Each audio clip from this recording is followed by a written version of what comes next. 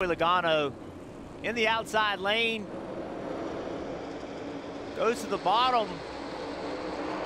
Oh, yeah, a little bit of contact from the car in front of him. He came down on him. Couldn't quite make out who that was.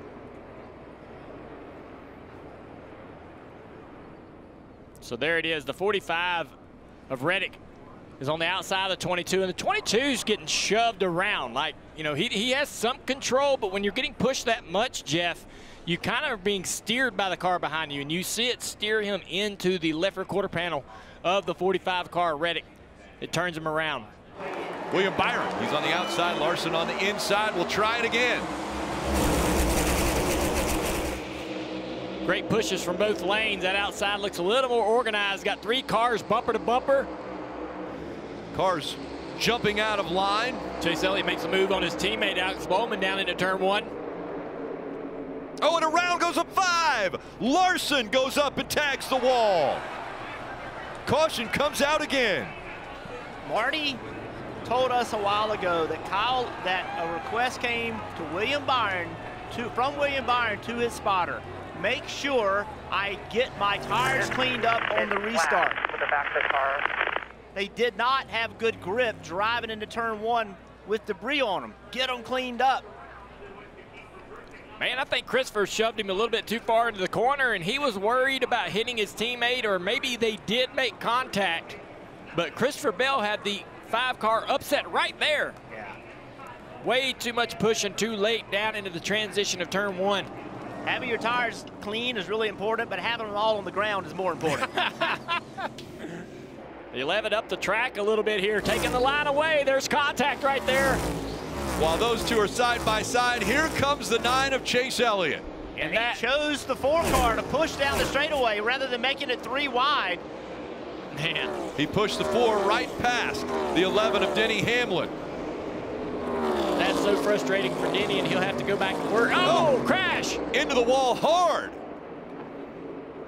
And Austin Dillon for the second time around in turn one, this time a hard contact yeah, that, that wall and fire under the hood. It was a hard lick.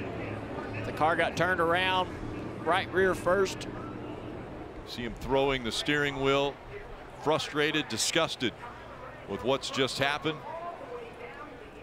He was running an 11th. Big hit. Oh, helmet thrown at Reddick.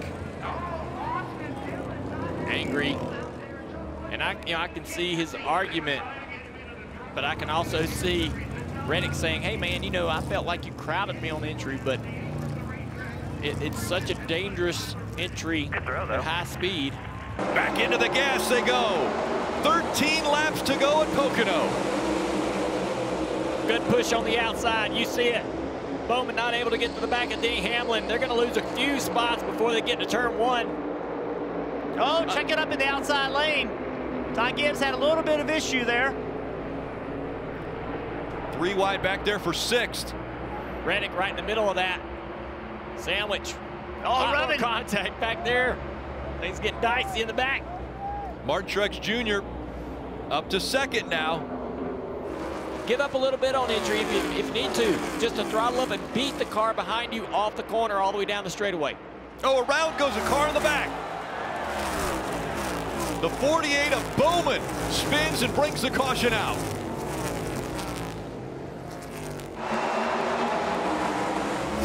Good push at the outside line. Reddick is not to the back of the 19. The outside line's going to have to speed the momentum down into turn one. Reddick not even close to the back of the 19. The 11 clears him. And now here comes Denny Hamlin to the inside for the lead through one. He runs the five wide, almost into the fence. Up into the wall with the five, and now the momentum. Behind them, with the 19 of Martin Truex Jr., Larson loses the lead. Hamlin's out front. Oh, we got a crash behind him into the tunnel turn. A big wreck. Hard, hard lick. That's Haley in the 31, and he has turned around. A lot of damage to the driver's side of the 31. And so the caution comes out once again. We saw this before, but it was Ross Chastain on the outside last year. Again, the five hard into the wall. Literally almost the same exact scenario. He comes down the racetrack trying to slow Denny down. Yeah, you don't mind getting run up the racetrack a little bit, but when you get run up the racetrack this much to where now there's contact Look and it pushes you out of the groove, you have no choice but to lift out of the throttle and you're still going to hit the wall. So, yeah, I don't blame him. I'd be mad too. Hamlin has Harvick behind him. Martin Truex Jr. on the inside. Joe Gibbs Racing side by side. That inside line just fails to connect every single restart. Truex side drafting hard. Here comes the 45 to the inside. Reddick. Couldn't get to the 19, and now Reddick drops back to fourth. And two car links separate Hamlin from Martin Truex Jr. They're one and two, under three laps to go. Truex not able to close the gap. Oh, there's a spin. The 41 of Preece is around. No Makes caution yet. contact. No, he's not going to make contact with the inside wall, and no caution has come out. Reddick to the inside for second. It's one lap to go. Presented by Credit One Bank.